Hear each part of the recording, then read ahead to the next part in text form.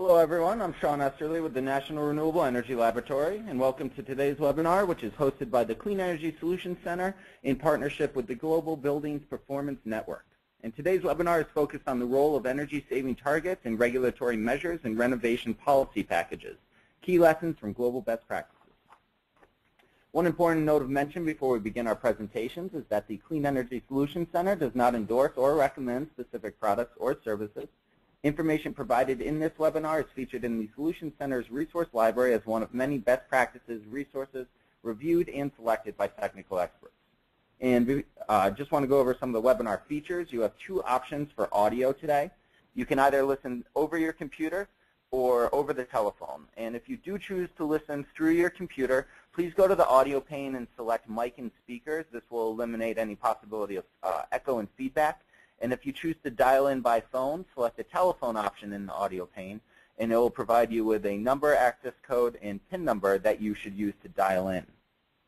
And panelists, we do just uh, ask that you please mute your audio device at any point that you are not presenting. And if anyone is having technical difficulties with the webinar, you can contact the help desk number at the bottom of the slide. That number is 888-259-3826. And we encourage anyone from the audience to ask questions at any point during the webinar. To ask a question, uh, simply type it into the question pane in the GoToWebinar window and uh, submit it there. And if you're having difficulty viewing the materials through the webinar portal, we will be posting PDF copies of the presentations to cleanenergysolutions.org forward slash training, and you may follow along as our speakers present. Also, an audio recording of the presentations will be posted to the Solution Center training page within about a week of today's broadcast. And then uh, sometime in the next month, we'll be adding the webinar to the Solution Center YouTube channel, where you can also find uh, other informative web webinars as well as video interviews with thought leaders on clean energy policy topics. And in addition, the Global Buildings Performance Network will also be providing a live tweet today of the webinar. Attendees can use hashtag global buildings to follow the live tweet and participate. Now today's webinar agenda is centered around the presentations from our guest panelists, Sophie Schnapp, Yamina Saheb, Jens Laustsen, Peter Bach, and Ann Edminster. These panelists have been kind enough to join us to discuss the importance of energy-saving targets and how they drive energy renovations.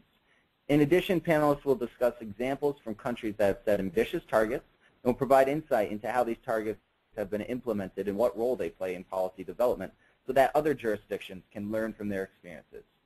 Before speakers begin their presentations, I'll provide a short informative overview of the Clean Energy Solutions Center initiative. And then following the presentations is when we'll have the question and answer session uh, where we'll address questions from the audience and where Peter Graham will be joining us to help address questions um, from you. And following that, we'll have some brief closing remarks, and then a quick survey for the audience. Now this slide provides a bit of background in terms of how the Solution Center was formed. And the Solution Center is one of 13 initiatives of the Clean Energy Ministerial that was launched in April of 2011. It's primarily led by Australia, the United States, and other CEM partners.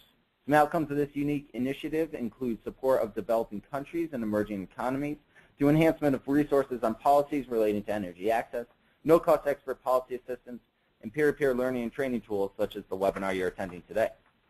And there's four primary goals for the Solution Center.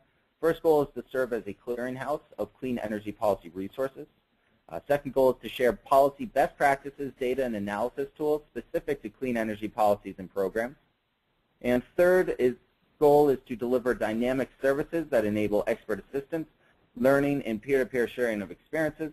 And then lastly, the center fosters dialogue on emerging policy issues and innovation around the globe. Now, our primary audience is energy policymakers and analysts from governments and technical organizations in all countries. We also strive to engage with the private sector, NGOs, and civil society.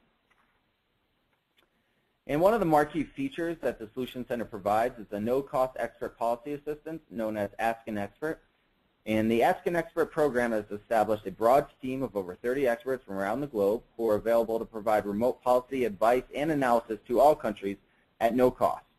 So for example, in the area of buildings, we are very pleased to have Cesar Trevino, leader of the Mexico Green Building Council, serving as one of our experts.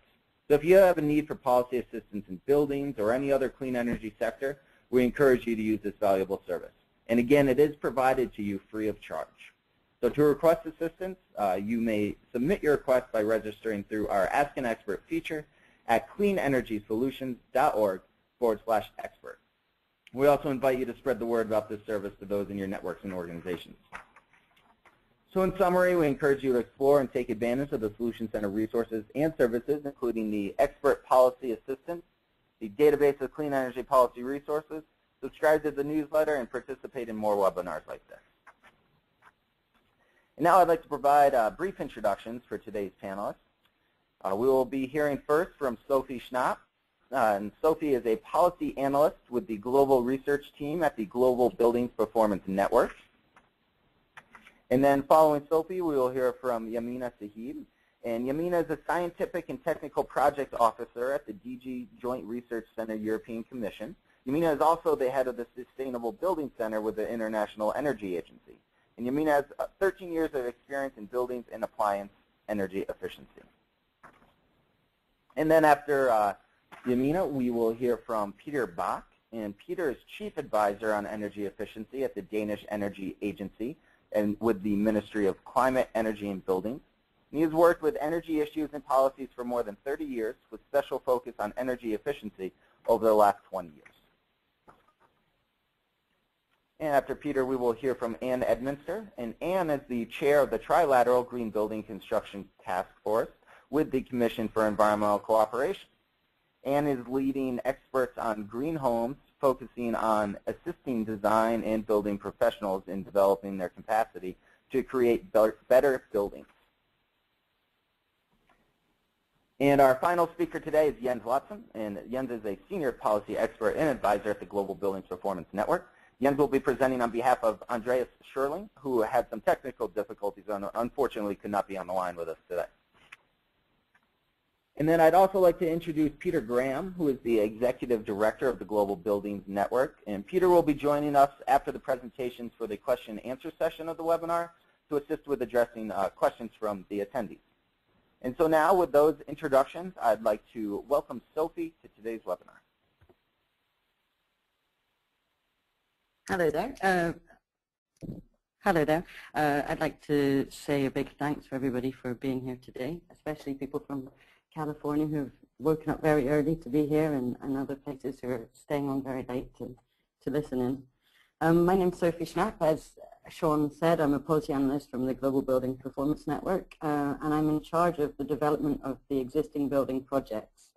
So today's webinar's um, title is The Role of Energy Saving Targets in Renovation um, Relating to Policy Packages.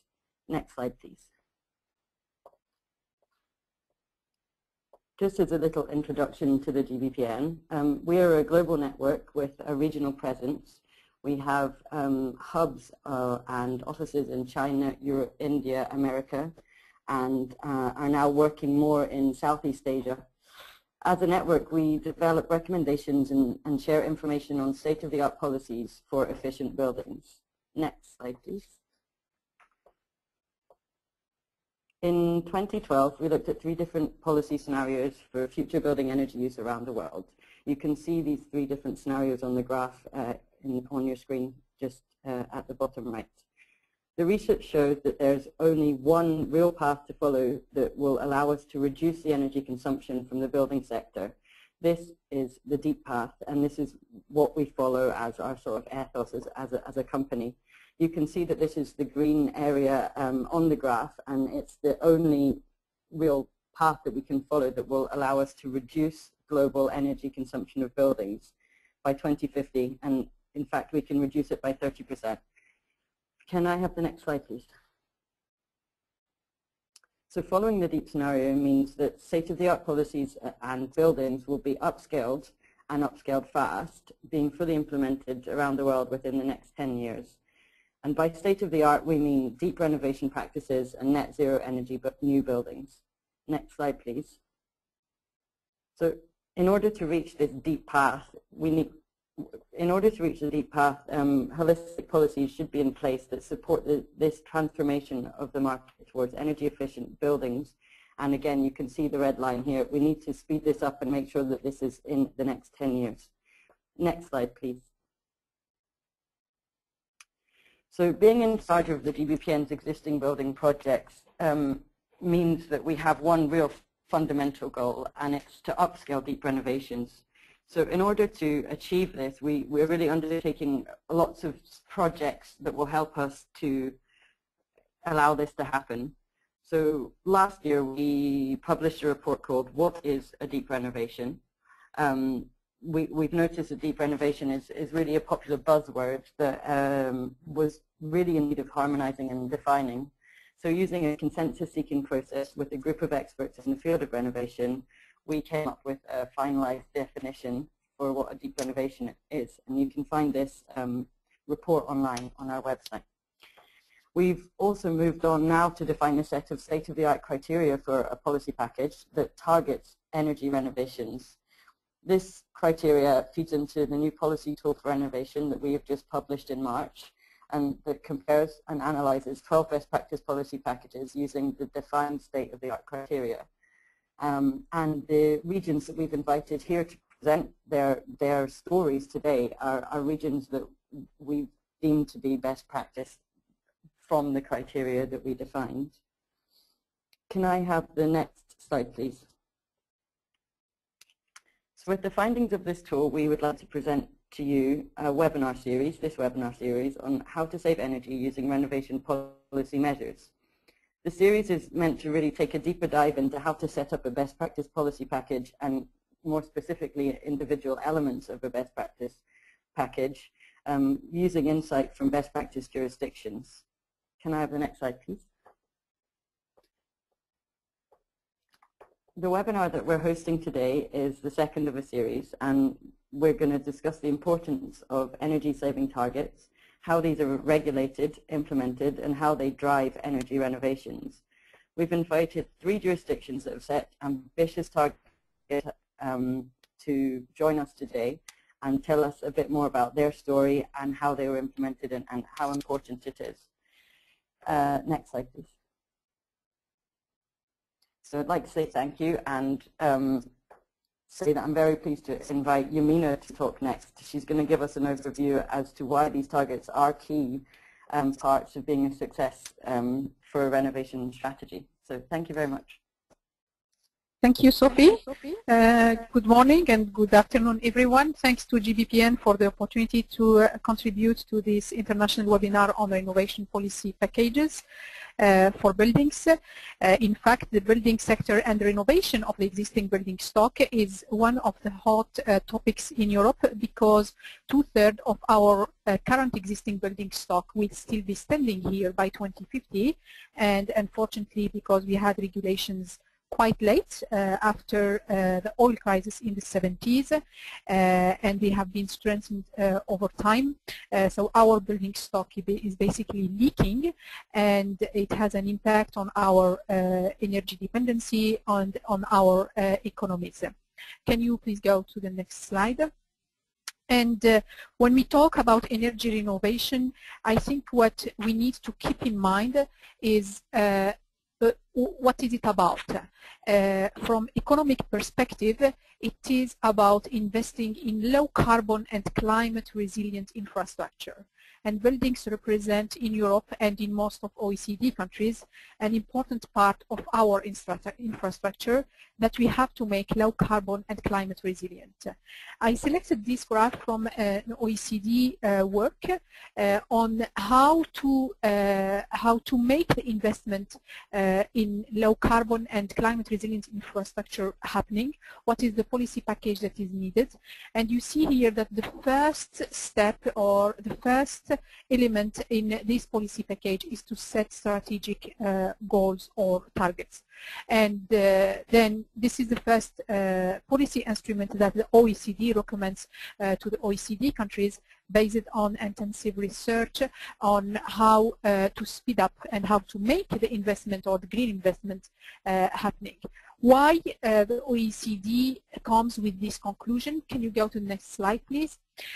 because it is about investment and uh, investors and financial institutions need uh, to have uh, uh, Uh, uh, um, regulatory stability and consistency and this is something that the targets could provide to, uh, to investors.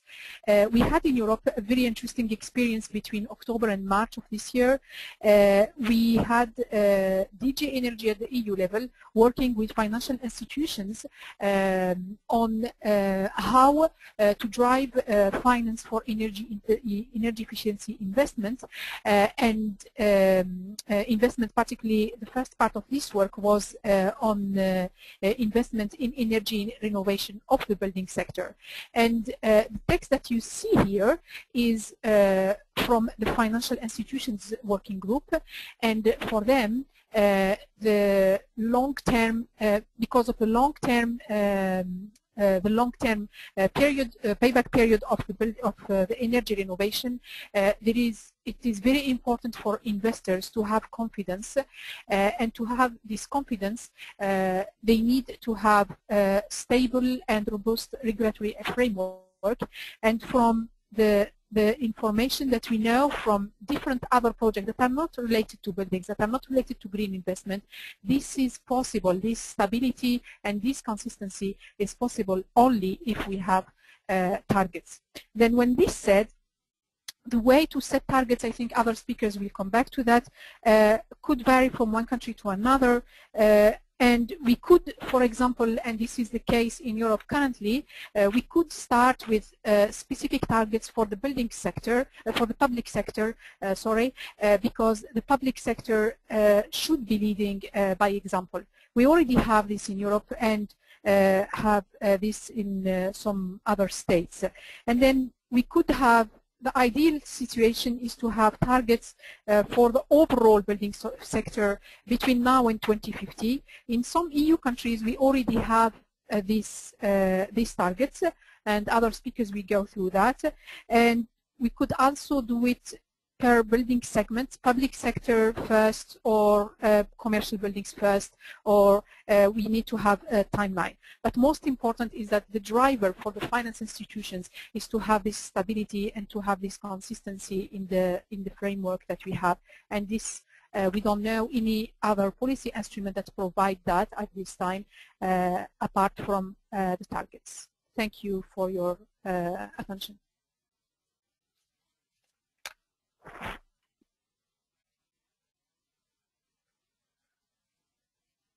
And thank you, Yamina. Uh, and now it's Peter Bach from uh, Denmark, and welcome to all of the, uh, the people here which attend this uh, webinar. Uh, I will speak a bit about the Danish case uh, and about how we have had used political commitment and targets as a way to drive energy efficiency and the change of the whole energy system to a more sustainable uh, way. Uh, next slide, please. Um, we have uh, had a very strong energy efficiency improvement in Denmark over the last 40 years. Uh, we have, uh, since 75, uh, decoupled energy consumption and economic growth very dramatically, and we also doing this today and have doing that, been doing that over the last five years when we have had an economic crisis this has been done by a very strong political commitment uh, for over the la uh, since uh, the first oil crisis in 73. Energy policy has been very high on the agenda in Denmark. Uh, and we have used a combination of policies and measures in all sectors, including energy taxation, regulation, and information and awareness. Next slide, please. And uh, we have now a long-term goal or target, you could call it, uh, that we in Denmark in 2050 would have an energy system which are 100% based on renewable energy sources. We will not use any fossil fuels anymore in Denmark in 2050. That's our all, overall target. And it's quite clear that the way we can reach this long-term target is uh, we uh, have a strong improvement in efficiency in all sectors. That includes uh, electrification. And we have uh, um, also, of course, to develop more renewable energy uh, and, and uh, as a way to get rid of gas and coal and oil. Uh, and um, so we need uh, new measures uh, and new targets to deliver that. Next slide, please. Uh, we have already re reduced energy consumption in our building stock quite dramatically. The consumption per square meter today is 45% uh, lower than it was in 75. Uh, we had a very, very dramatic improvement uh, from 79 until 84 after the second oil crash where energy prices went up. Where, but we, that was also a combination of uh, a, huge information and awareness campaign and a huge subsidy scheme. So all these things worked together. it, so that it was a combination of measures was delivered and that has continued afterwards. Next slide, please. Um, for new buildings, uh, we have developed our building codes uh, as a very, very important tool uh, to deliver energy savings and reduce energy consumption in buildings. We have had a regular update of building codes. We have had over the last years a very early announcement of next step. We had the, a building code 2010. We have already five years back announced the 2015 step and we have also set the 2020 step which are a step which fulfill the nearly zero energy target. Uh, these early announcement of next steps of building codes give the industry and the whole construction sector time to adapt, time to learn, time to develop the solutions, and that reduce costs uh, and make uh, the strength of the building cost cost, cost effective. Of course, enforcements are a very important element of building codes, which we all have to work with. Next slide, please. Uh, in our existing buildings, that's the main uh, uh, target and the main challenge for all of us in Europe, at least. Um, most of the buildings which we have today will be there in 2050 we have to secure that the whole building stock has been almost been renovated uh, over the uh, over the next uh, 35 years, um, and this means that we um, has there's still a very big potential. Um, we have to see energy renovation as a part of the normal renovation cycle. That's a way to do it in a cost-effective way. Uh, that's also a way to uh, have uh, the house owners, uh, the building owners uh, involved. And uh, we have to have renovation as a when we as a part of integration of all elements, and we have to look at both a holistic and components, and we have to secure deep renovations. And we see that that will have a good economy, uh, both for society and for house owners, and especially if we include all the other benefits that uh, are linked to energy renovation. Um, we have just uh, developed a new renovation strategy, and uh, the strategy shows that uh, we can reduce our uh, energy consumption in the existing building stocks with at least 35%, with if we strengthen our the building codes for existing buildings. Uh, if we develop them even further at, uh, and have new technologies involved, we could maybe reduce uh, 45 or 50 percent. Uh, we need a lot of combination of measures to deliver that. Uh, we have quite high taxes on energy for heating in Denmark. Uh, we have strong regulation, and we also have a lot of information and activities. We have obligation for energy utilities and so on, and all these measures together can deliver. Next slide, please. What have we learned uh, about uh, these things? Um, uh, yeah, I think first we have learned that political commitments are needed. Um, and we also seen that a target, it could be a national target, and it could first step out these, these days be a target at European level for energy efficiency or energy consumption is a very, very strong commitment. We have also seen that target works. It's uh, very easy to uh, see monitoring progress and see are we are online or taking new actions if we are not online to meet the target. So a target is a very strong political commitment which can deliver. And we need combination of measures. Uh, there's no single silver bullet who can deliver these things. Thank you for your attention.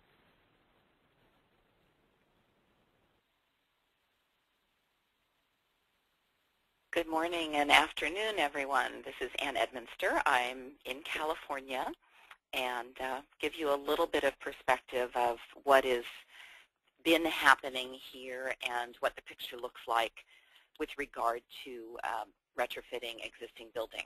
Next slide. So uh, probably many of you are aware that California has a reputation of being an energy leader and this means, in particular, we've had energy legislation going back to 1978. However, more than half of our housing stock is older than that. And as a consequence, um, we have more recently begun looking at that housing stock as a potential area for tackling greenhouse gas emissions. In fact, it is the largest single opportunity remaining that we haven't yet uh, made significant progress with. Back in 2007, the California Energy Commission identified this and said we should really be tackling 100% of all cost-effective energy efficiency opportunities. So all of this is the backdrop for our target setting. Next slide. So in terms of targets, our largest one was established in 2006 with Assembly Bill 32, the Global Warming Solutions Act, which calls for a reduction of greenhouse gas emissions to 1990 levels by the year 2020. And uh, of course, we're coming up on that very quickly. It seems more quickly every day when we look at the magnitude of this challenge. Three years later, Assembly Bill 758 was established as the enabling legislation for AB 32, and um, AB 758 identifies a whole range of opportunities you see listed here as means of tackling this very ambitious target. So energy assessments, benchmarking ratings, um, public and private sector financing, public outreach, education, and green workforce training. So I think the key message for the, the question asked by this webinar, are targets important in driving implementation? Absolutely they are because the targets set the stage for what really has to happen on the ground in order to make the improvements. Next slide. Outcomes to date from the two assembly bills, the key ones are we've had a, an energy retrofit program called Energy Upgrade California targeting existing housing stock. And more recently, Energy Upgrade California has been directed to refocus from what was referred to as a widget-based approach, i.e. tackling uh, individual items of equipment and so forth, to a whole house approach.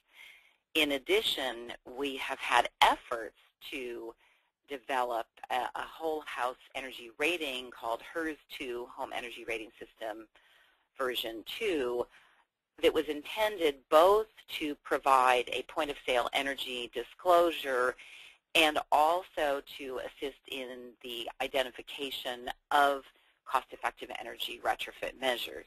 I'll say a little bit more about HERS 2 in a couple of minutes, but um, next item on the implementation uh, roster is a $20 million workforce development program, also property assessed clean energy financing pilots, often referred to as PACE. We've had a number of those. And then um, this last one, which sounds quite inconsequential, but nevertheless it is a measure that is going into effect in just a couple of weeks with the latest version of our energy code. This one re requires that any residential retrofit must replace older plumbing fixtures with the newer water conserving fixtures. So, and one of the kind of interesting and perhaps odd paradoxical things about our energy codes is the codes primarily address new construction and major remodels that is they are they are large enough to be subject to the new building codes. And although I think our codes are in many ways a much more powerful mechanism they don't tend to really touch the existing buildings very much. So uh, that's one reason I wanted to definitely address this last bullet here because it is a very, very small measure addressed within our largest policy framework piece. So, and yet our other elements of this solution set aren't code measures, but they are more specifically on the existing building stock. So kind of a interesting two-for approach. Next slide, please. One example in the workforce training that I've been very directly involved with was the development of a class series which is directed at existing home owners, designers, builders, trades, and so forth. And in this one, we spend four days typically presented over, uh, say, a one-month period where we walk through the whole suite of strategies necessary to achieve deep energy reductions or um, possible equivalent of zero net energy with the inclusion of renewable energy strategies on a building or within a development. And this class series we've developed to, oh, some number of hundreds of attendees now in service ter territories throughout California. Um, we offer these through our major utilities in the state, most of them investor-owned utilities, um, but also a couple of the municipal utilities. Next slide, please. So another question we were asked to address for you all in this webinar was who should be involved in setting targets and developing the enabling mechanisms. In California's case, we have a specific directive within our legislation that tells who the state agencies actually need to consult in the development of our strategies. And as you can see, it's a very, very comprehensive list, and I think that the question of who should be involved is pretty effectively answered by this mandated list. In other words, it's very comprehensive and appropriate. It represents a broad spectrum across our social fabric, which I personally think is very appropriate. Now, how effective we are at actually reaching all these stakeholder groups is another question. And I think at the state level, we do a better job at reaching some of these stakeholder groups than others not surprisingly. Next slide, please. Building sector impacts. Um, in the short term, the measures that I've enumerated have produced some new market opportunities for players in the building sector. Um, however, that also represents the necessity of training in order to take advantage of those opportunities because I would say relatively few of the players in the building sector were previously capable of undertaking these new opportunities.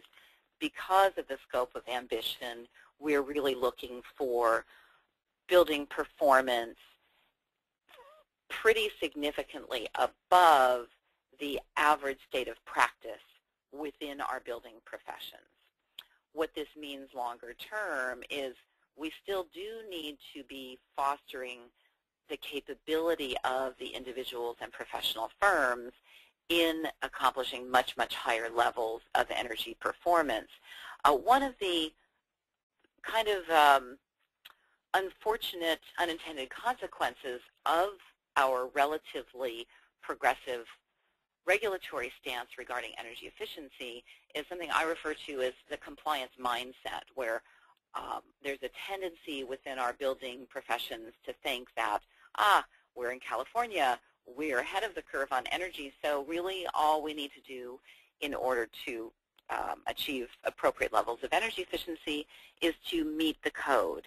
And what this means is that in practice, our building professionals tend to get quickly familiar and comfortable with what it takes to meet each iteration of the code, and then their practice becomes rather stable or stagnant at that level without a continual striving for levels of performance above code. And so our codes do ratchet up, but um, A, I don't think that really drives the level of improvement that we need, and B, because as I mentioned earlier, the codes tend not to be so much um, affecting existing buildings, we don't really see that affect the existing building segment of the market nearly as much as I think we need to. So in the longer term, we really are going to have to figure out ways to get our building community much more up to speed on energy efficiency much faster. Another aspect of this in California we have this mechanism called time-dependent valuation, which essentially says that energy provided by the grid has different values and different costs, different social and environmental costs at different times of day and different seasons. And our compliance mechanisms, uh, particularly our energy simulation models, reference this time-dependent valuation. And very few people understand this or understand it in any level of depth. And I believe that we are going to have to become much more familiar across our, our professions with the construct of time-dependent valuation in order to get more effective at addressing um, the energy needs within our state. This means we're going to need to learn some new tools and also uh, re-examine the toolkit. And what I mean by that is there are aspects of building design that we tend to overlook because they're not typically addressed by our regulatory mechanisms. In particular, um, building form, building basic uh, geometry and orientation, which we, of course, can manipulate less in existing buildings than new ones. Nevertheless, we need to be looking at them as well. Next slide, please. So lessons learned. Um, Energy Upgrade California, as I mentioned earlier, is, is currently being retooled. It's being retooled because the earliest stages of the program showed rather poor uptake. Um, in fact, the results from that, I suppose you could call the first few years a pilot, demonstrated that the efficiency gains were only about one-third of what were actually forecast. So very, very poor correspondence between the predictions and actual performance. Secondly, uh, those uh, that program was largely driven by utility-based incentives. And what we also found was that the amount of incentives were really not sufficient to induce the uh, sort of scale of remodeling that we had hoped to see across the landscape. So what we need to do is really figure out a way to reach people when they have other motivations for remodeling and find ways to support the energy efficiency upgrades at the time that remodeling occurs for these other reasons because relatively few people will undertake those remodels purely for their own sake. So we need to get a lot more sophisticated about how to do that.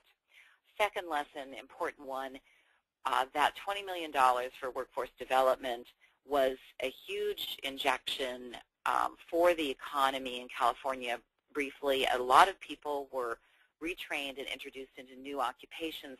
Unfortunately, there was not a commensurate effort to improve demand at the same time.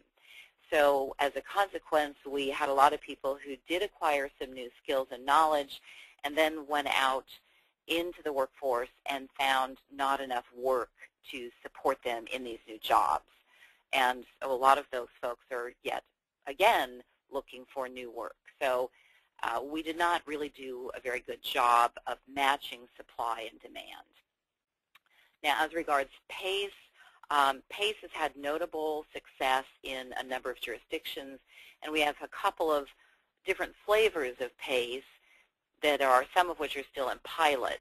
So I think there's very good promise for that as a mechanism for funding retrofits.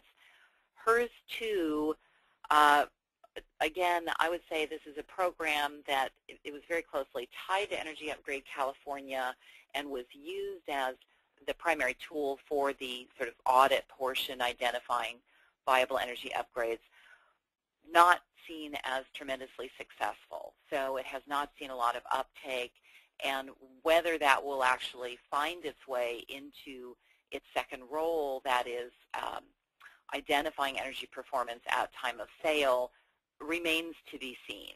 So a little early days to comment on those. And I believe that is all my comment for now. Thanks so much.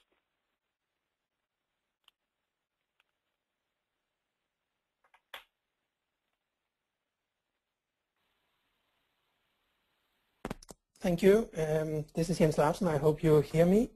Um, I will present this German case because uh, Andreas uh, Schöring uh, from the Federal Ministry of Economic Affairs and Energy uh, couldn't make it for technical and practical uh, reasons. So I will give you some briefs uh, based on the PowerPoint presentation that he sent us. Next slide, please. As it was the case with the two previous presentations, the German policy is strongly based on uh, long-term targets. Um, there are targets set for 2020, which is a 40% reduction of greenhouse gas emissions compared to 1990 levels. And there are also targets for 20% uh, reduction of the energy demand, but compared to 2008 uh, levels. There are further targets on a long term, setting targets for 2050, where the targets are 80% cut in the greenhouse gases and 50% cut in the primary energy demand. These were set in the energy strategy back in 2010 and is the basis for the German uh, policies today. Next slide, please. But it's not enough to have uh, general targets. So there are also specific targets for the, the building sector. And this is requiring that in 2020 there would be a 20% reduction in the demand. So this is another 2020-20 uh, target. And in 2050 this would go all the way up to 80%. This means that the whole building stocks must be almost climate neutral compared to today. And of course it means that new buildings must uh, reach this point much earlier. The interesting thing is that these kind of buildings are being built already. We know the technology, we know how to do it, but we know to upscale this uh, very uh, massively. One of the key points in the German policy for existing buildings, but also for new buildings, is the CO2 rehabilitation program or the KFW programs, which they are uh, called. And it is strengthening of energy consulting, which means that uh, we would try to improve the knowledge that everybody has on what they can do and how to do it. Next slide, please. Some of the primary uh, demands is the energy saving ordinance. That's where uh, rules are set for minimum requirements. But at the same time, these standards are also defining higher standards that you can go for uh, than the absolute minimum. So this is a kind of stretch codes, I think they would call it in US. The programs are all very holistic, so they focus both on energy efficiency and the use of renewable energy. There is a big freedom in the choice of technology, but it's in some way uh, limited. It needs to be cost efficient because otherwise it's difficult to get the right uptake of these kind of policies. Uh, the KFW have developed efficiency houses branding, which they call KFW 55 or 40, which means that this is 55% of the consumption that you would have according to uh, the regulation or 40% in the higher case. Next slide, please. This next slide is showing the development in Germany where building codes have become more and more stringent. And the latest one came in place, I think it was the 1st May uh, this year, which is the 2014 building regulation, which is the current uh, requirement uh, in, in Germany. Um, at the same time, we have seen that best practice buildings have gone deeper and the usual market standards have been uh, decreasing faster than the building codes. Next slide, please. This slide is giving a few details on the previous building code, uh, EnEV uh, 2009, and the current building code 2014. Um, both of them are looking on the building envelope. Uh, the previous one was concerning heating, cooling, and air condition techniques and warm water. Um, and it depends uh, on the calculation methodologies, etc.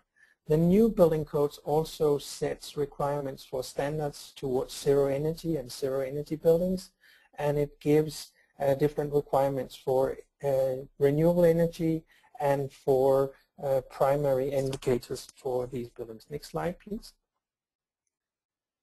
the building codes have two sorts of uh, requirements. There is one, as mentioned, on the primary energy use, giving the freedom to choose between renewable energy and buildings, but to ensure that the buildings themselves are not built uh, to too bad uh, condition, there is also a transmission heat loss which is requiring that uh, buildings are well insulated, there are good windows and all of these uh, building physics. Next slide please. The KFW program which is supporting these have two sides. One is for the new building stock and another uh, part is for the existing building stock. And here are some of the details on how big grants and loans that can be given. There are different uh, repayment bonuses and uh, they all in the end target the home uh, owners. Uh, there is a requirement in both of them that uh, there is a need for an assessment by an expert so that they ensure that it is the right measures that are done. Next slide, please. This one has a, a very important and interesting topic, and that shows that different grades of renovation, because now we go into the refurbishment programs, uh, will give different kinds of subsidy. Um, we are looking at uh, energy house, efficiency house 100 will be the same as the current uh, building code. Uh, and then we have better and better classes going up to 55% uh, in, shown here. And the uh, loans and the support and the interest rates that you get on your loans will actually depend on how deep you go. So this is an, a general encouragement not to do a shallow renovation but to go deep. And this is very important for, uh, we expect that there is only one chance for uh, refurbishing a building. So if we don't go deep enough the first time, we might lock in uh, some of the potential. Um, you can see the percentages here. Next slide, please.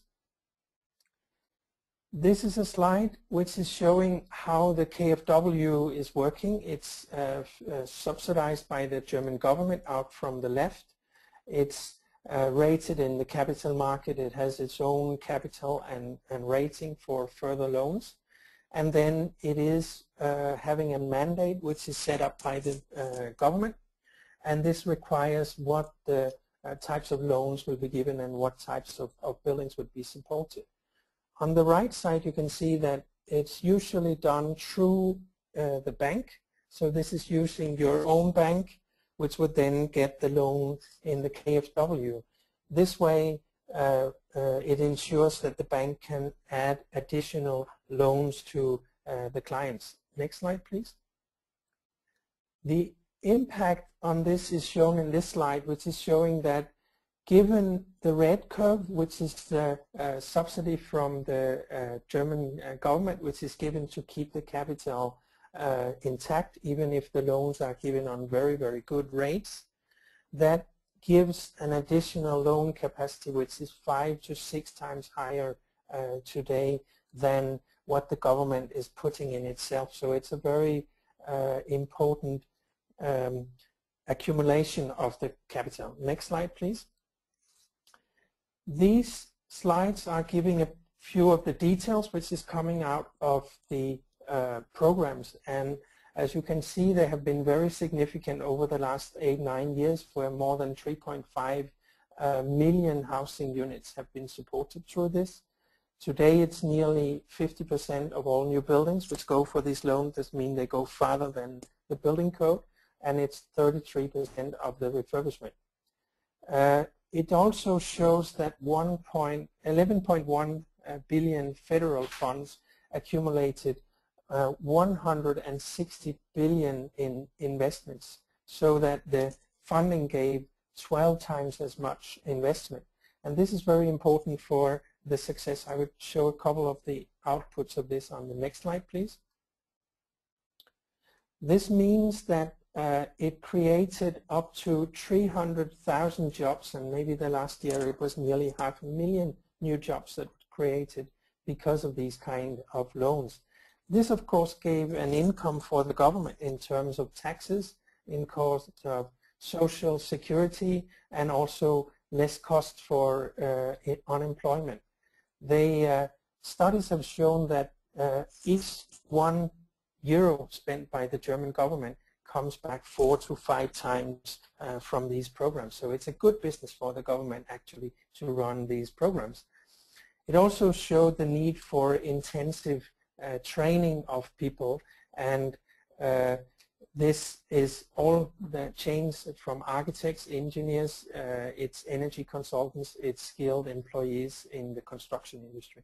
Next slide.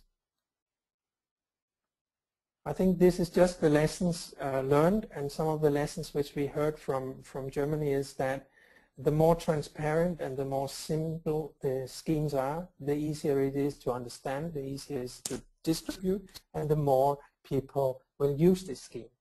Uh, it's very important to uh, have mandatory experts involved so that we ensure that it's the right things that get support, uh, that there is a high quality, uh, that the public funds are used uh, correctly.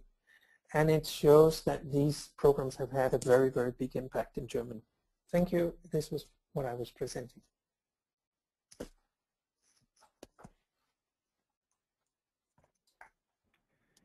Thank you to uh, each of the panelists for the, the excellent presentations. And we uh, will move on now to the question and answer session. Before we do, I just want to remind all attendees that if you have any questions for today's panelists, uh, please feel free to submit those through the question pane in the GoToWebinar window.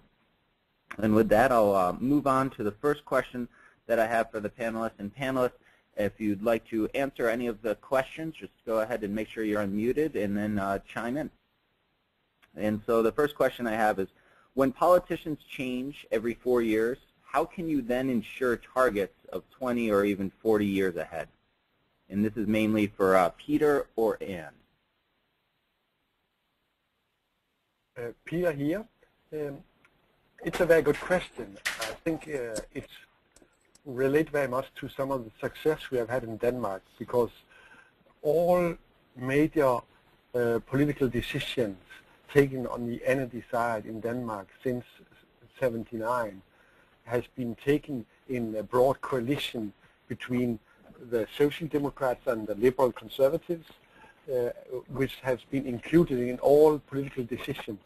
So we have changed government from a Social Democratic government to a Liberal Conservative government, but the energy policy has been very stable because all agreements has included both sides. So policy has not changed every four years in Denmark or every 10 years. Uh, it has been a long-term tradition uh, of stable policy, and that's give high security for investors, for companies to develop, uh, and so, so it's very, very important. Thank you. Yeah, this is Anne. I would have to agree with Peter that uh, here in California, too, the strong pro-efficiency sentiment has really transcended party politics. And so while we've certainly seen ebbs and flows of interest in energy efficiency policies, um, the overall trajectory has been pretty solid and we've had good stability in our public agencies as well. So um, we've been very fortunate in that regard.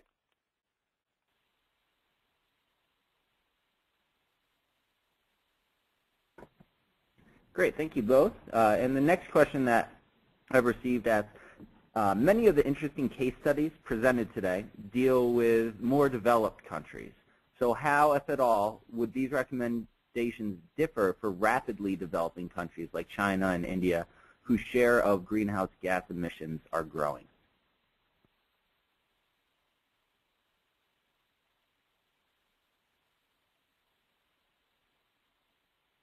Peter Bach here. Uh, I'm not an, at all an expert in China and India, but I think there's one big difference between uh, Europe and US on the one side and uh, the developing countries on the other side is in Europe and US uh, the major challenge is the existing building stocks. In China and India the major challenge is the new buildings because they build so much of the new buildings uh, so strong building codes, strong enforcement uh, uh, related to new buildings are very, very important. And set a long-term targets uh, for how the building code should be developed over the next uh, uh, 15 to 20 years with stepwise strengthen the codes. Uh, that would, uh, I think that what we could learn from Denmark, that could be a wise way to go also in these countries. Thank you. And this is Jens Laustsen, now talking from uh, GBPN side. Um, and I can agree with Peter that in, uh, in fast emerging economies, the, uh, the new construction industry is uh, the very important thing to get under control. But it is for two reasons. Um, the, the first one is if you don't have the, the new buildings under control and have a low uh, energy consumption, it seems a bit strange to, to renovate buildings and needing to renovate a new built building because it's not good enough uh, compared to the standards for existing buildings. But we see that uh, countries like China start uh, looking more into renovation policies because there is a big building stock and maybe some of it is built for five, ten years ago and were not fulfilling the kind of standards which they, they have today. So this is also coming up in emerging economies. And I think the, um, the lessons that is learned from, from more emerged economies is that uh, it's very important to do things right in the first place and not do too much skimming and take the, uh, the very easy solutions first, but try to uh, really do an energy renovation when you when you start improving uh, because otherwise the potentials would be locked in for a very long time.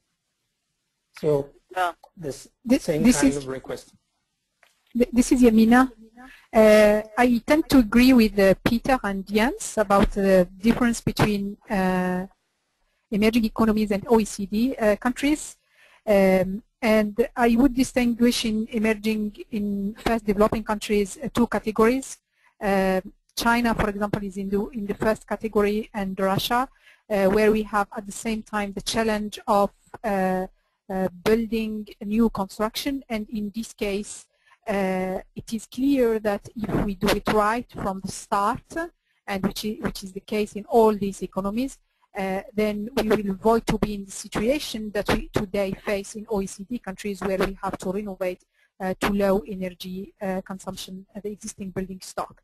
Uh, in parallel to that, in China and in Russia, uh, we have the issue of um, renovating part the, the existing the, the, the current existing stock uh, and in this case, uh, these countries face similar um, challenge. The challenge is uh, um, similar like in OECD countries.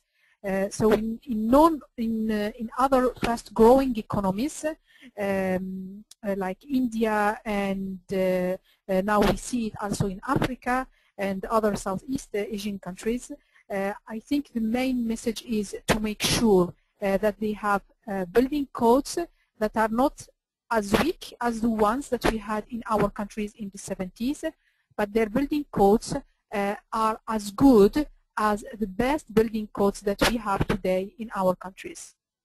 Thank you. Um, this is Anne. I agree with all of the foregoing comments, and the one thing I would add is what I see is we have uh, a lot of emphasis on the building itself, and yet a couple of folks have mentioned the importance of enforcement. I would go uh, a little bit underneath that idea that the reason enforcement is important is because compliance with codes, you know, based on the California experience, is not what we would hope it would be. And the reason for that is our building occupations really are not on board the way we need them to be. So I would offer that in rapidly developing areas of the world, we need all of those things. We need strong codes, but we also need very deep and broad education across all segments of society that affect our building quality. And that should begin with young school children and extend to um, young people who are entering building occupations as well as building professionals who are presently practicing. Uh, we've spent a lot of time looking at this issue in um, some ad hoc task forces for the California Public Utilities Commission over the last couple of years.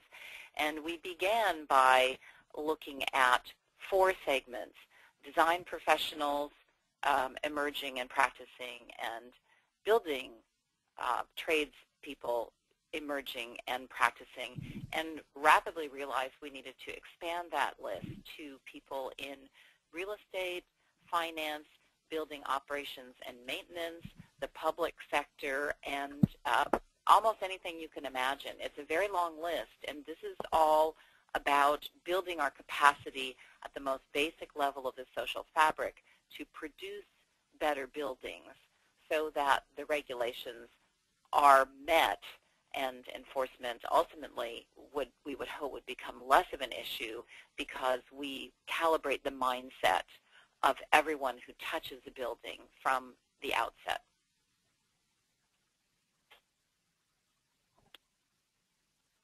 Great. Thank you, everyone, for that great discussion. Um, moving on to the next question now. This one is directed towards Jens, Peter, and Anne. And the question is, how would you go about setting the level of ambition of the energy targets for a country and ensure that it is suited to the needs of the jurisdiction?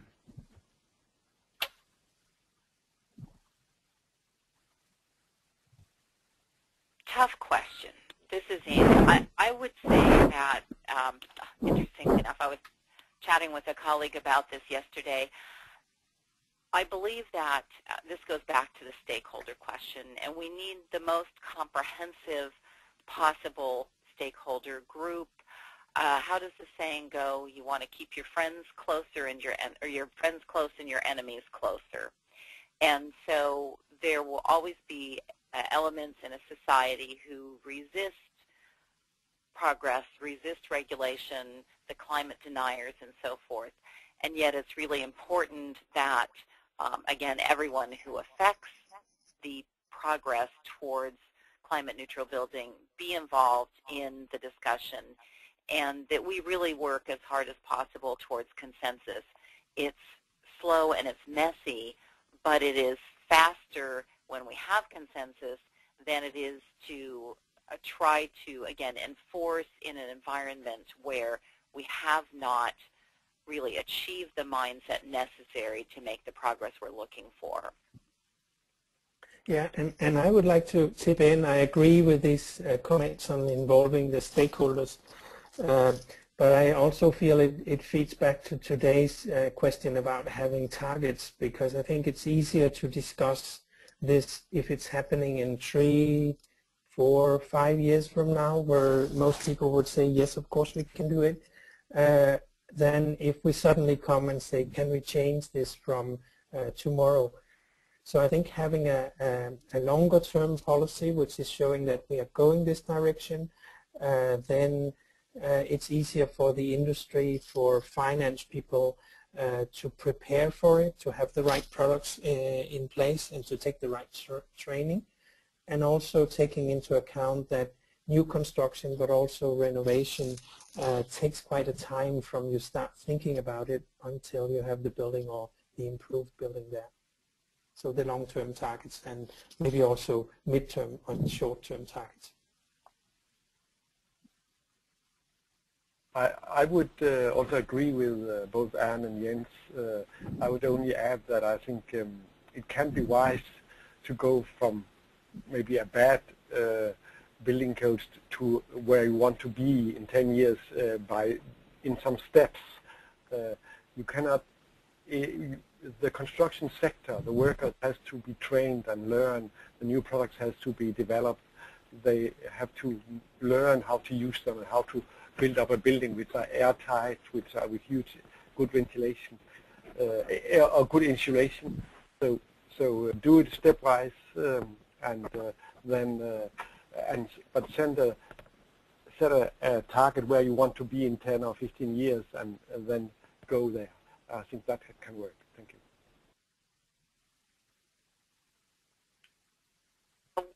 One more thought along those lines too. I think that one of the challenges that we face is that we perhaps put excessive emphasis on design and insufficient emphasis on construction and this is sort of part and parcel of a larger cultural phenomenon that we face here in the United States, which is the deprofessionalization of the building trades. Um, and we don't have a very good formal education process for the trades as well. And so much of the progress that could be made in building efficiency comes from uh, very well-known, but in some ways unglamorous, not terribly interesting aspects of building performance. As Peter alluded to, its airtightness and good quality insulation. And yet we have been looking for workers to do the fastest, cheapest possible work instead of the best quality work. And we, we don't have a consumer base that is really has any sensibility to distinguish between the two, and they don't see it because it's hidden. So we have some really systemic challenges here.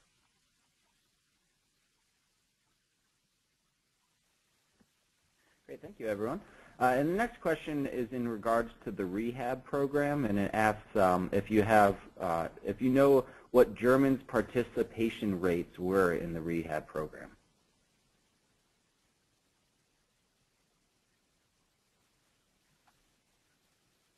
I think there were some um, uh, figures in the slides saying that uh, today it's it's quite significant. It's something like a third of all uh, renovation projects which are uh, getting support from the program. It, it was in, in one of the slides.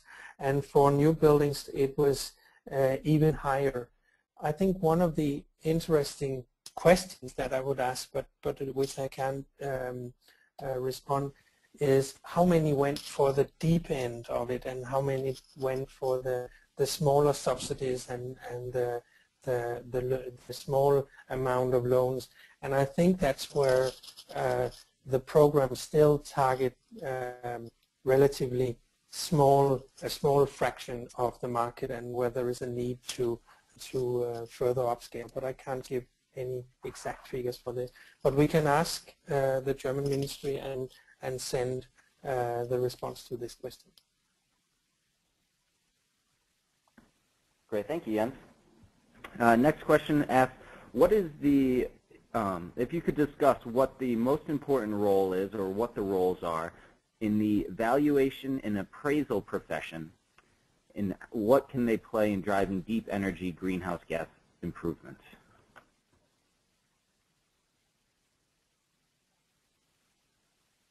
Uh, this is Anne. I think they can play a really important role and in fact need to play a very important role and in our market here, that is a significant challenge. We hear over and over again that efficiency improvements are failed to be valued.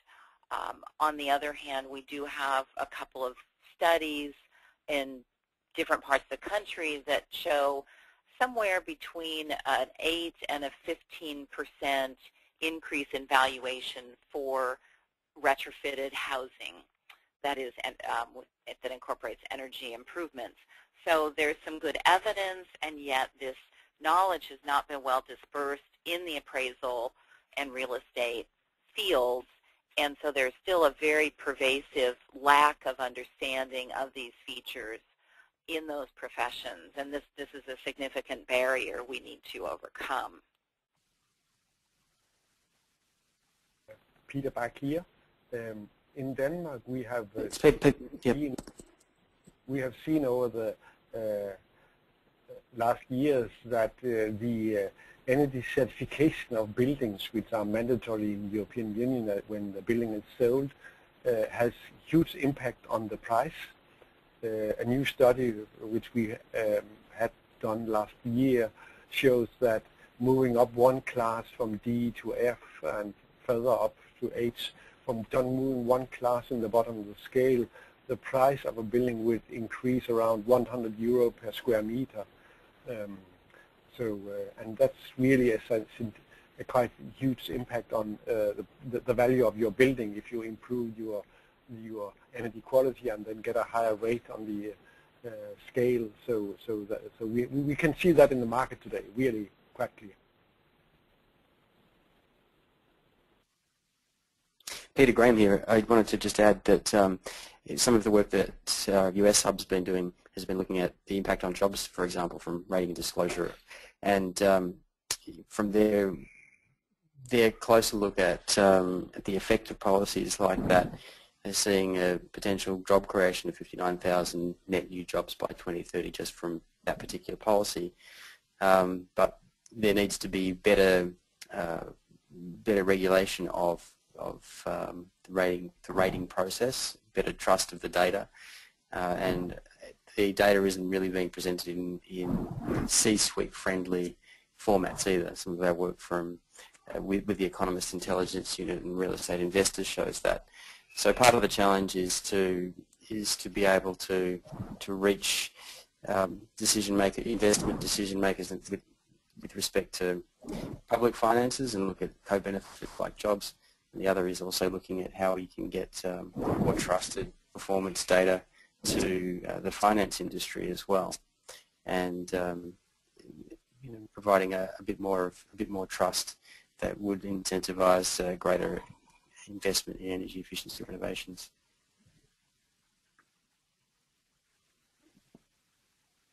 Thank you, everyone. Uh, next question is in uh, about Germany, but it could also be applied to other EU states. Um, and it asks, is it more important that Germany sets its own EE targets or that the entire EU sets common EE targets for all member states?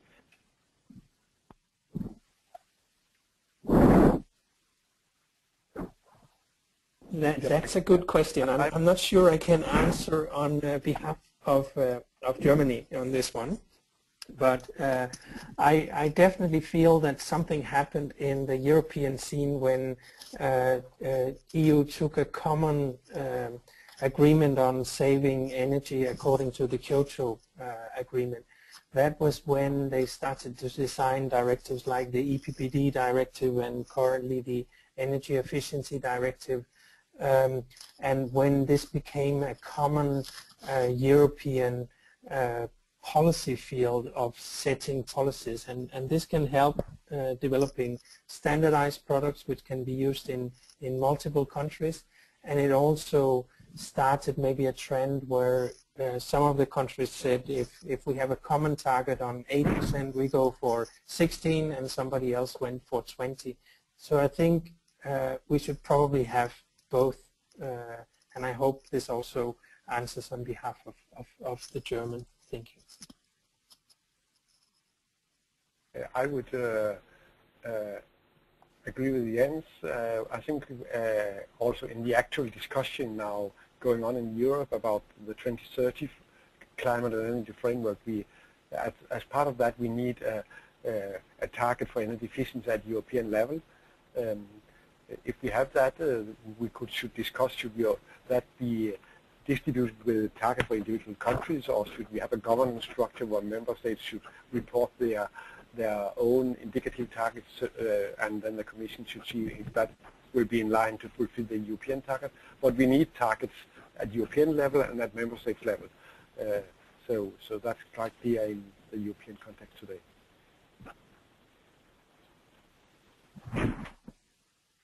Thank you, Jens and Peter. Uh, moving on to the next question. Um, I'll read through it, and then if you need any clarification, I can always read through it again.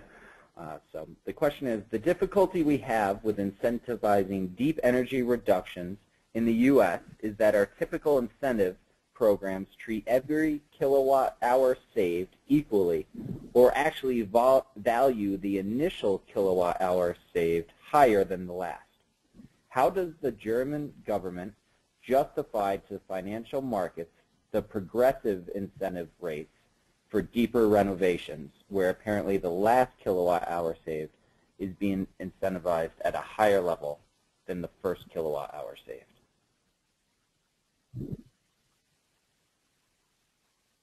Um, that's a, um, a good question again, which is um, I can't answer this on behalf of uh, the the German government, but I can give you a, a perspective from from my side, and that is um, if you go for high targets, uh, uh, studies which we have done, for instance, here in GBPN on uh, which were presented on by Sophie in the beginning of this, is showing that if we go for shallow renovation first uh, and not go deep, then we will lock in a potential which it would be very expensive to come back and pick up uh, fast uh, again. Uh, we might need to wait another 30 or 40 years before those buildings are ready uh, for a new renovation.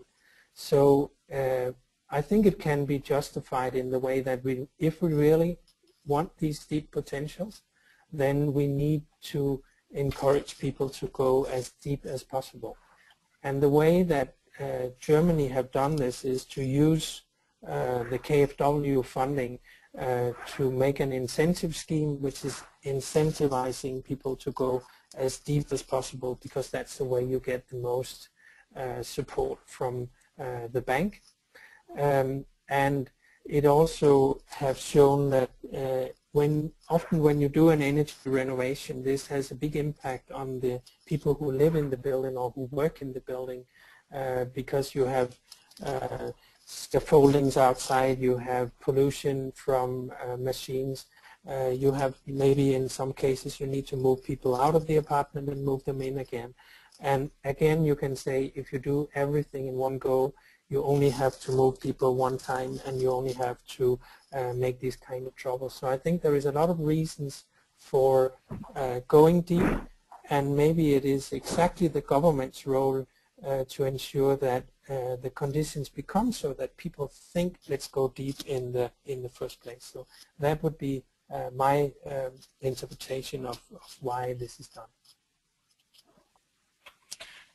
Uh, this is Yamina. I agree with what Jens said, and uh, if you look at it from a governmental perspective, the only way to decarbonize uh, our building stock is to go as deep as possible each time we renovate. And the incentives are provided by governments. So it is uh, the most rational thing to do is to provide incentives uh, for uh, for deep renovation instead of providing incentives uh, to encourage shallow renovation. And I think more and more governments are uh, starting uh, getting this because, uh, especially in energy-dependent countries, uh, because there is an economic impact, a negative economic impact uh, on importing energy outside the country, energy that we waste, and it's like double or three times wasted in money because then we incentivize uh, something that doesn't reduce this energy dependency. Um, at the time I was at the IEA, we have done this exercise for at least two countries, France and Netherlands. And uh, from what I remember, even Netherlands, who is not in similar energy import situation like France, uh, it didn't make sense at all for a country like Netherlands to provide incentives uh, that uh, to, to incentivize shallow renovation that locks the savings potential because what we need to keep in mind is that um, the renovation um, cycle, and it's not the energy renovation cycle, we are not yet there, the renovation cycle, the average uh, renovation uh, time for that in the OECD countries is 30 years for residential sector and 20 years for non-residential sector. So basically, if today we incentivize shallow renovation, we lock ourselves uh, for at least 30 years or 20 years in non-residential sector uh, with uh, taxpayers' money. Uh, and I think uh, probably more analytical work needs to be done for each uh, for each country individually.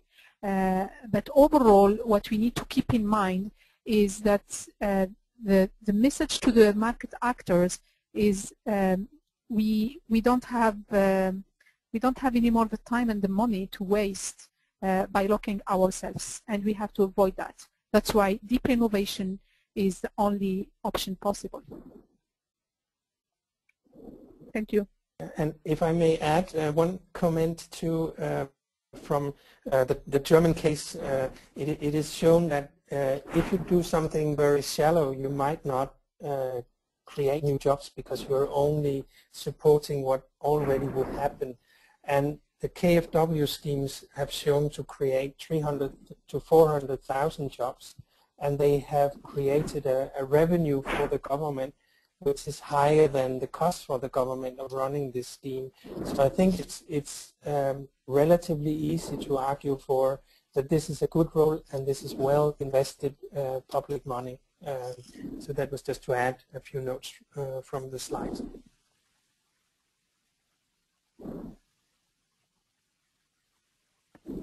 Thank you, Jens and Yamina, for the responses. And moving on now to the next question.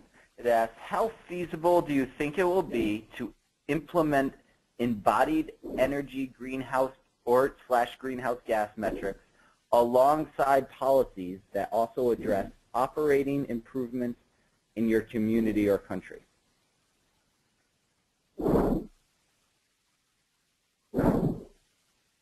I'm, This I'm is happy. Ann. Oh, go ahead. No, I, I was just saying I was I'm happy to, to start out on this and say that the closer we come to zero, uh, the more important embodied energy will become. And when we reach the zero, everything we do is embodied energy. So the more advanced we get our building codes uh, and the closer we come to this magic zero, the more important it becomes to look at the embedded energy. And uh, if you're far away from the energy, I remember some of these studies, it showed that uh, you need to go very dramatic before you should ask this question. But now when some countries start approaching zero energy, I think they have to start uh, going into these kind of uh, what do, does it cost and especially what does the energy efficiency measures uh, cost in, in embedded uh, energy. Yeah, I, I fully agree with the, with Jens. The the embedded energy is question for uh, zero energy buildings. It's not really question for uh, the renovation of the existing building stock because we are far away from zero energy buildings. And when even when we renovate deep deeply, uh, only few buildings uh, could go to zero energy uh, consumption and uh, currently what the market is delivering is far, far away from zero energy buildings. So it's a bit premature question for uh, zero for existing buildings, but it's a real question for zero energy buildings, for new buildings it means. Uh, Um, I I- also I agree. would- I also agree. Sorry. Oh, go, go ahead. Uh, I also agree with this, uh, that uh, for renovation of existing buildings, it's not really an issue today. Uh, I would just add, when we look about the uh, new buildings, low energy, zero energy buildings, we should not only look on embedded energy, we should look at uh, sustainability. It include also water, uh, chemicals, uh, sustainability in a broader sense of the, the building materials and the whole cycle of the building. So it's a broader perspective than just embedded energy. Thank you. Just one last point uh, after what Peter said. So maybe for zero energy buildings, we will have to work on new metrics that takes into account the resource efficiency and not just the energy efficiency part in the operation phase. A um, couple of things I want to add on this. I think that while it's true that the embodied energy becomes a larger factor with a zero energy building or as we move towards zero energy, something that uh, a number of folks here in the U.S. have been really thinking a lot about lately is the fact that all of the new materials put into both new buildings and renovations, um, even though they may represent a relatively small fraction of the overall lifetime energy of the building, that that's a carbon load that it, it's a, it's front end loaded in terms of the building's life cycle. And because we have this critical 20 year or 25 year window to address global climate emissions, we need to be very, very cognizant of that front end load. And I think among other things what this means is we need to be looking more and more at regulatory mechanisms that incentivize renovation of existing building stock over the creation of new building stock. So we need to, in a sense, step back a ways and look at the overall um, means by which people create new buildings or renovate old ones. and we should be favoring renovation with our policies.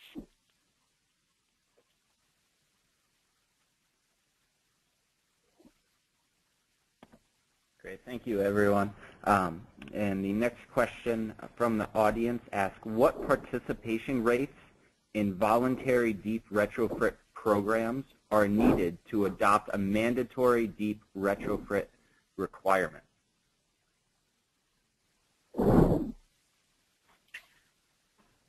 I, uh, this is Yamina. Uh, I think this will depend on the. Um, we cannot have we cannot have one single answer for each country.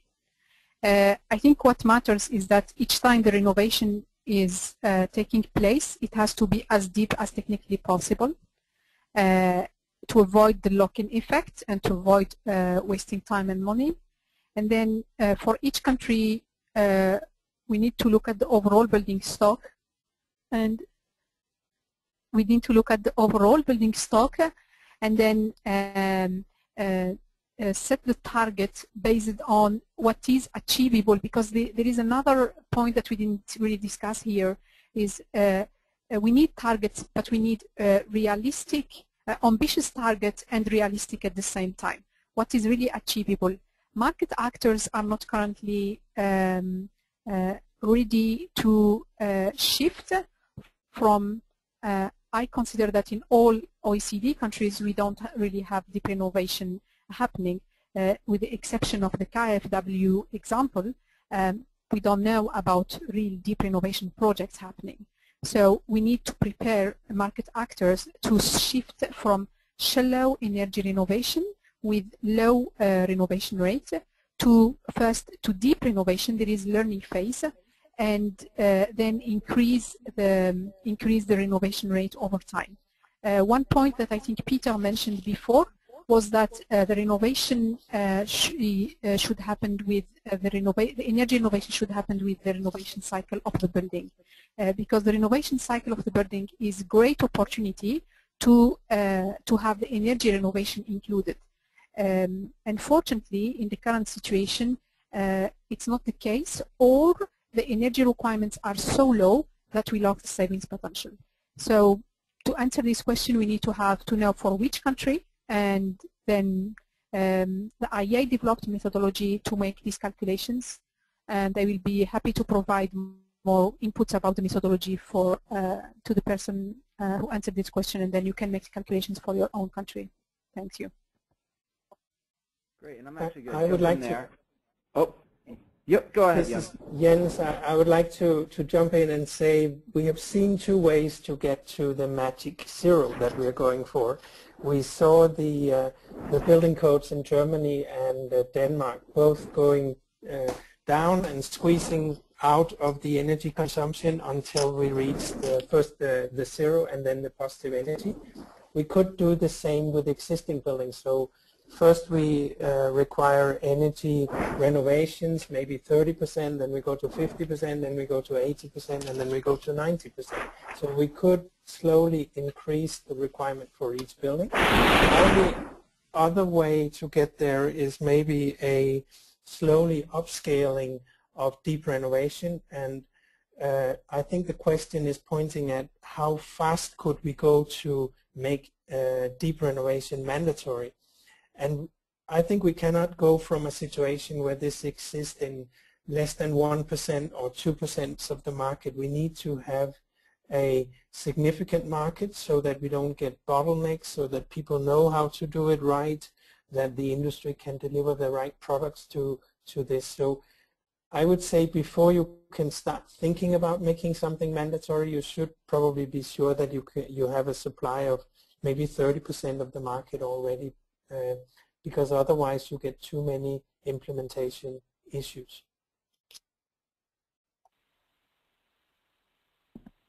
Great, thank you. And we are out of time, so I'd like to move on now to the um, quick survey that we have for attendees. Uh, and this survey just helps us uh, evaluate how we're doing and improve for future webinars. So Heather, if you could display that first question. And the question is, the webinar content provided me with useful information and insight.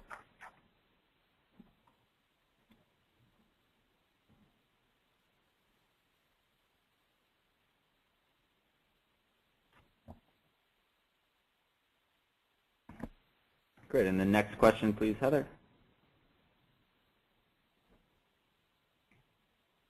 The webinar's presenters were effective.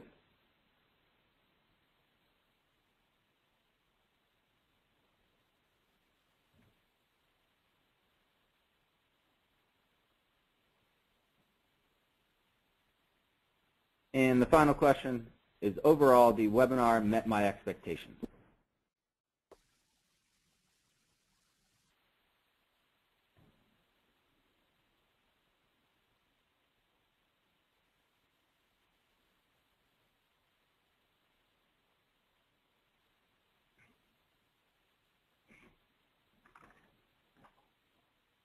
Great, and thank you for answering our survey. And on behalf of the Clean Energy Solutions Center, I'd just like to extend a thank you to um, each of the panelists for joining us today.